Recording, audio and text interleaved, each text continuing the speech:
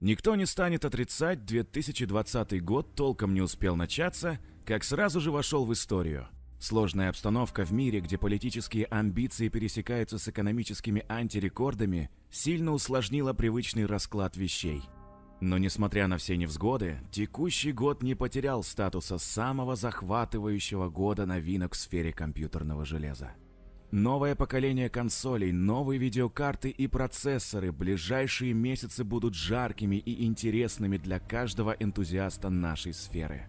И буквально в первый же день осени, 1 сентября в 19.00 по московскому времени, неподражаемый Дженсен Хуанг на своей уютной кухне представил всему миру Ампер – долгожданное семейство новых игровых видеокарт NVIDIA.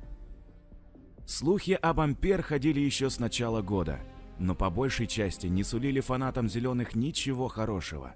Многолетнее партнерство NVIDIA с TSMC, лидером рынка наиболее совершенных кремниевых пластин, оказалось под угрозой после череды ударных успехов AMD. Красный гигант занял на будущее рекордный объем будущих 7-нанометровых пластин, оставив Дженсону Хуангу лишь толику необходимых объемов.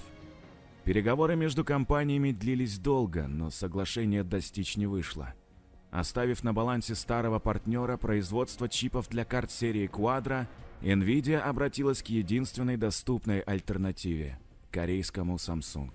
В итоге в основу линейки Ampere легли чипы, произведенные по 8-нанометровому техпроцессу Samsung, не слишком энергоэффективные и уступающие изделиям TSMC, но несравнимо дешевые, а потому крайне выгодные Nvidia – Впрочем, о производственных проблемах корейских фабрик знали далеко за пределами рынка, и поэтому Big Navi в очередной раз казалось куда интереснее. Перейдем к самому мероприятию. Заметим, что 21 день, 21 год можно воспринять как смелую попытку смены парадигмы в названиях.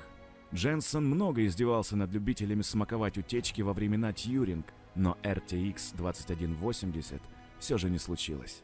Трансляцию открывал красивый ролик с ключевыми достижениями графики, отчет которых начинался с GeForce 256 и заканчивался последними картами семейства Тьюринг. Дженсен Хуанг с улыбкой и явным удовольствием рассказывал о трассировке лучей и о тензорных ядрах на основе продвинутых АИ-алгоритмов, и даже о том, что традиционная растеризация вот-вот достигнет потолка, после которого на сцену выйдут другие технологии. Очевидно, речь идет именно про RTX. Переходя к сути, Дженсен Хуанг представил ключевые преимущества Ампер. Ключевой фишкой поколения Тьюринг стало появление технологии RTX – трассировки лучей в реальном времени.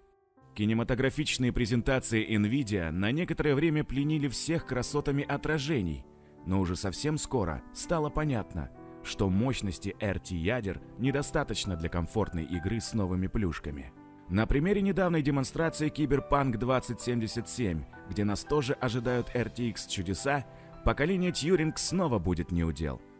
2080 Ti не обеспечивают в будущей новинке даже 60 кадров в секунду в разрешении Full HD, что уж говорить о 4К. Остается только посочувствовать тем, кто успел недавно разориться на карты уходящего поколения. Ампер же совсем другая история. Следующее поколение RTX обещает решить проблему низкой производительности с трассировкой лучей, из-за чего старые проблемы канут в лету.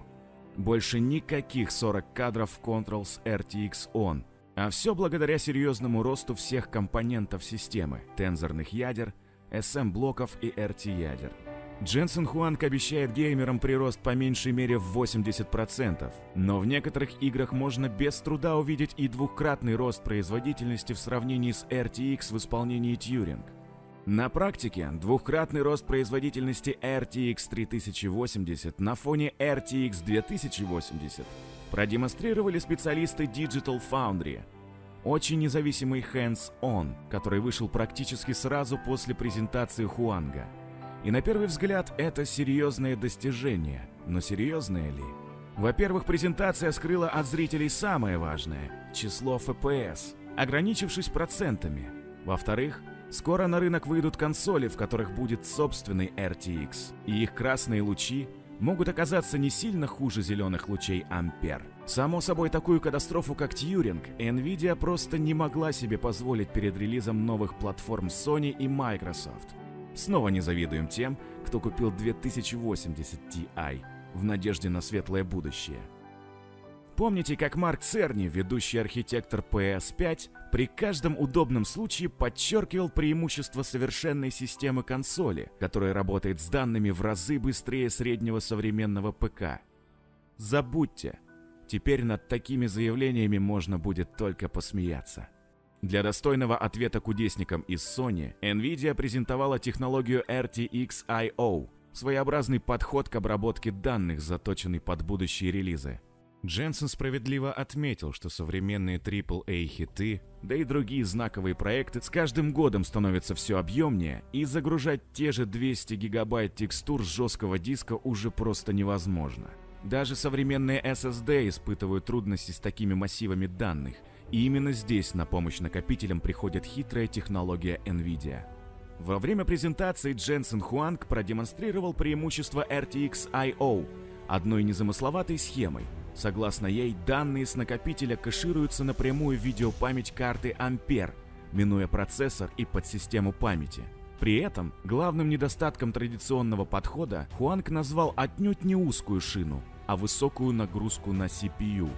Так NVMe накопители последнего поколения способны загрузить целых 24 потока, что не пройдет бесследно в тяжелых игровых сценариях. По сути, в PS5 будет реализована похожая система – но Nvidia предлагает ее преимущество в более упрощенном формате.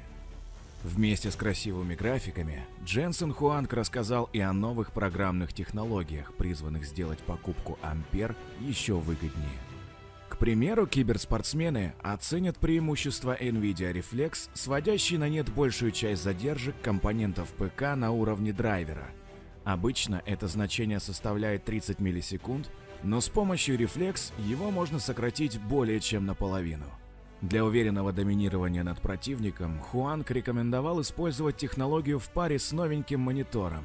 Такие с частотой обновления в 360 Гц должны выйти на рынок уже в ближайшие месяцы. NVIDIA Broadcast – прекрасный инструмент для стримеров, ведущих подкастов и других творческих личностей, покоряющих YouTube или Twitch. С его помощью можно убрать посторонние шумы, локализовав источники звука, размыть, заменить или вовсе убрать задний фон с веб-камеры всего в два клика. Все это стало возможным благодаря появлению совершенных алгоритмов на базе машинного обучения. Не забыли NVIDIA и о разработчиках. Для них был представлен уникальный в своем роде инструментарий для создания эффектных роликов и презентаций, а также работы с ассетами. Он получил название Omniverse Machinima – в честь тех самых легендарных машинем из светлого прошлого. В рамках анонса примером работы Omniverse послужила Mountain Blade 2 Bannerlord, на базе ассетов которого всего за несколько дней был создан кинематографичный ролик с полностью анимированным персонажем. С помощью Omniverse станет возможным моделирование мимики и анимации рта героя по голосу актера озвучки, построение общих анимаций моделей и многое другое. Этот интересный набор инструментов станет доступным для общего тестирования уже в октябре. Возможно, на горизонте маячит новый золотой век машинем. Остается несколько вопросов. Где же новая графическая оболочка драйвера для обладателей видеокарт NVIDIA? Почему Radeon Adrenalin все еще является более совершенным и продвинутым, а Jensen не спешит шагнуть в 21 век? К сожалению, ответа на эти вопросы мы не знаем до сих пор. А теперь поговорим об изменениях. Поколение Ampere стало первым за долгие годы, в рамках которого компания Nvidia отошла от традиции выпуска флагмана с индексом TI. У такого неожиданного решения было несколько причин. Самой весомой из них стала серьезная путаница в модельном ряде, из-за чего бесконечные TI Супер и модели с разной конфигурацией памяти то и дело портили настроение людям, пришедшим в магазин за видеокартой. Уложить в памяти то, какая карта быстрее и почему было сложно. И поэтому Nvidia протянула руку помощи, создав максимально простую интуитивно понятную линейку RTX 3000. Флагманскую роль на этот раз исполнила классическая вторая карта линейки RTX 3080. Имея 10 гигабайт сверхбыстрой памяти, GDDR6X и целых 8704 CUDA ядра, что вдвое больше 2080 Ti, Новинка готова свернуть горы, и заявленная двухкратная производительность 2080 делает серьезную заявку на лидерство. Но зрителей анонса шокировала даже не это, а цена – всего 699 долларов. И нет, это не ошибка. Сам Дженсен признал, что Тьюринг не смог склонить к апгрейду владельцев блестящих видеокарт семейства Паскаль. Но Ампер способен приятно удивить, причем сделать это недорого. И речь далеко не только о RTX 3080. Та же RTX 3070, младшая модель из стартовой линейки, всего за 499 баксов предлагает производительность выше 2080 Ti. Да, у нее на борту всего 8 гигабайт обычной GDDR6 видеопамяти, но это не слишком умаляет очевидных достоинств. Вся мощь флагмана прошлого поколения за 40% от цены? Но и это еще не все. Отказавшись от бренда Titan, Nvidia представила видеокарту для тех, кому важно не только играть, но и заниматься контентом на новом уровне. RTX 3090, которую даже Дженсен с трудом вытащил из печки, несет на борту 24 гигабайта памяти GDDR6X и предлагает забыть о любых компромиссах. На презентации Nvidia для намека на мощность новинки – даже показывали каких-то людей, играющих в разрешении 8К с 60 FPS. Эти люди были серьезно впечатлены. Вопросов нет. 3090 для серьезных людей и владельцев 8К телевизоров. И все же презентация состояла не только из светлого и прекрасного. Стоило снять зеленые очки и отвести взгляд от портрета Дженсона Хуанга на столе, как вопросы возникли сами собой – и сейчас мы разберем все, что осталось за кадром анонса «Ампер».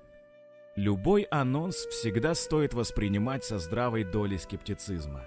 Вспомните презентацию Тьюринг, где слова Дженсона «It just works» и несколько красивых демо заставили людей до хрипоты доказывать друг другу, что за RTX будущее. И если в этом они не совсем ошиблись, то с покупкой карт поколения Тьюринг многие допустили ошибку – Игр с поддержкой RTX в заявленном количестве так и не вышло.